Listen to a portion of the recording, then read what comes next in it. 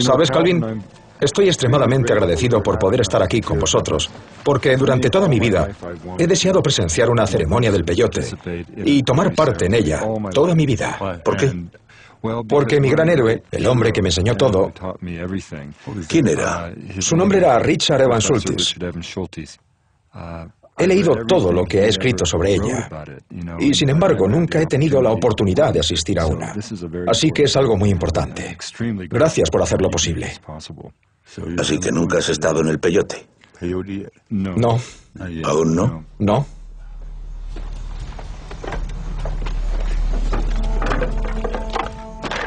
Se necesita mucha madera para mantener vivos dos fuegos. Uno para la ceremonia del peyote y otro para la cabaña de sudación. Estas cabañas forman una parte esencial de la vida de los indios de toda Norteamérica. Se calientan rocas en una hoguera.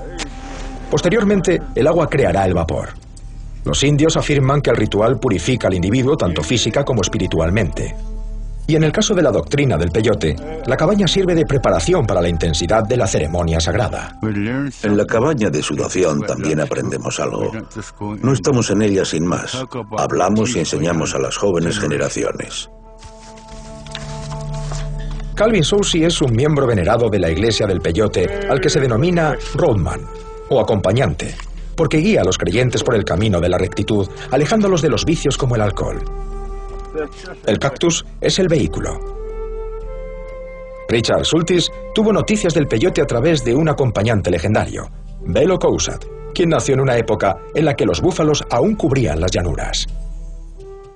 Acceder a la cabaña de sudación es como penetrar en la madre tierra, en el vientre de la madre. Las cosas que dañan a una persona están en nuestro interior y entramos allí para purificarnos. Posteriormente, cuando vamos a una ceremonia ya estamos limpios. Aún podemos rezar y entonces es cuando comienza a hacer efecto la medicina. Se parece un poco a entrar en un horno. Una vez en el interior todo está muy oscuro. Pero entonces comienzan las canciones que te preparan para la larga noche de rituales del peyote que queda por delante.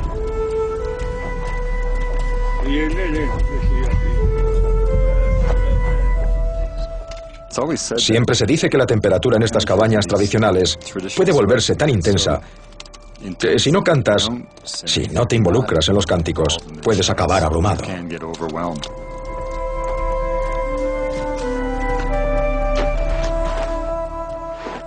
Las ceremonias de la cabaña de sudación son sagradas y Calvin no quiere que entren las cámaras.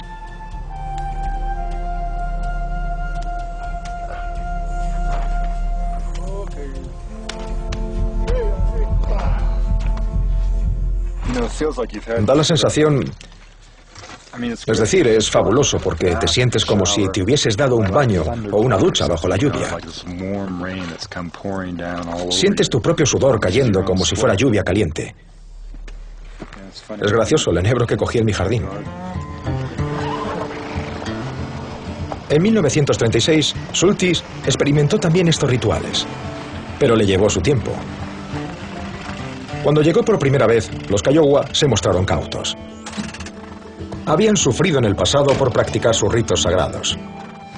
Y ahora, Lavar había regresado con un extraño que deseaba comprender su ceremonia más solemne.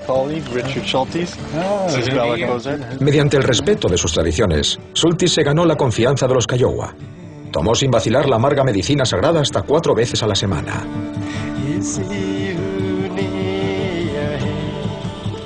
Sultis se quedó asombrado ante los colores caleidoscópicos. Pero ni siquiera él pudo escapar a las náuseas, efectos secundarios del cactus considerados parte esencial del ritual.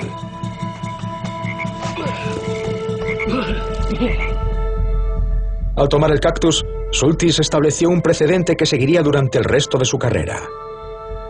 Rehusó ser el típico científico frío que se mantiene al margen y se sumergió en la cultura india para aprender los secretos negados a los foráneos. Creo que quedé fascinado desde el momento en que le vi. Poseía una increíble fuente de conocimiento. Era simplemente una persona interesante, alguien a quien quería conocer. Creo que en el fondo mi sensación era que se trataba de una persona bastante salvaje. Incluso me atrevería a decir que un proto-hippie, algo que en aquella época no contaba con un verdadero apoyo social. La investigación de Sultis no pudo llegar el mejor momento.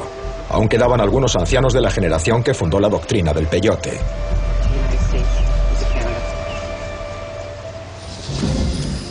Mañana voy a tener la oportunidad de hacer algo que llevo queriendo hacer desde que conociera a Sultis. Participar en una ceremonia tradicional del peyote. Para él, aquel verano en Oklahoma fue solo el comienzo de una vida de exploración. Descubriría plantas sagradas y alucinógenos tan potentes que cambió una generación. El explorador botánico Richard Evans Sultis era un auténtico Indiana Jones cuyo descubrimiento de plantas alucinógenas estableció las bases para los psicodélicos años 60. Su aventura comenzó en Oklahoma en 1936, trabajando con los indios Kiowa para desentrañar los misterios de la doctrina del peyote. Durante años estudié con Sultis. Ahora sigo sus pasos comenzando aquí, en una ceremonia del peyote de la que existen pocos testigos y que se está preparando ahora mismo. Está húmedo, ya podemos hacer la luna. Las ceremonias del peyote son una mezcla de creencias indias y cristianas. Se prepara un altar con forma de media luna y posteriormente brasas de carbón hasta formar el pájaro de trueno mitológico.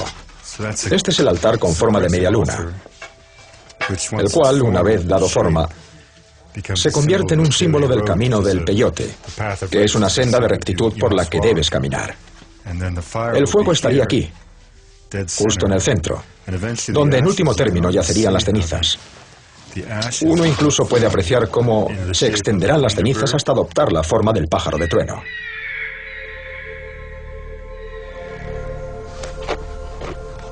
Ninguna celebración de los Navajo estaría completa sin un banquete, y la ceremonia del peyote no es la excepción. Esta oveja se cocinará para la comida del día siguiente. Hay algo extraordinariamente normal en la vida de todas las personas a lo largo de todos los tiempos. Es exactamente igual que el culto del peyote, es decir, es una especie de telón de fondo de la vida de estas personas, es lo que haces para estar bien. Aquí, el peyote es sagrado. Nunca se consume para colocarse. De hecho, los miembros de la tribu que intentan desengancharse de alguna droga recurren al peyote. Es algo nuestro, algo que hacemos por tradición. Pero si hay alguien que necesita ayuda porque consume drogas y desea desengancharse, viene a la ceremonia del peyote y obtiene una cura. Si quieren dejar de consumir drogas o alcohol, pueden venir a una ceremonia. Así que en cierto modo ni siquiera lo consideráis una droga. No. Es una medicina utilizada para tratar... Simplemente te ayuda, despeja la mente. He pasado siete años estudiando el uso del peyote de los indios navajo y otros indios norteamericanos. Acabo de completar un estudio neurocientífico de cerca de 200 personas en su versión final. Los resultados muestran que estas personas gozan de buena salud. El ritual está protegido a nivel federal por una ley del Congreso, la Ley de Libertad Religiosa de los Indios Norteamericanos, aprobada en 1994. Sin embargo, no todos los estados cumplen dicho mandato, lo que crea cierta confusión. Como consecuencia, algunos miembros de la Iglesia Nativa Americana son a veces detenidos por transportar su sacramento ilegal al cruzar determinados estados.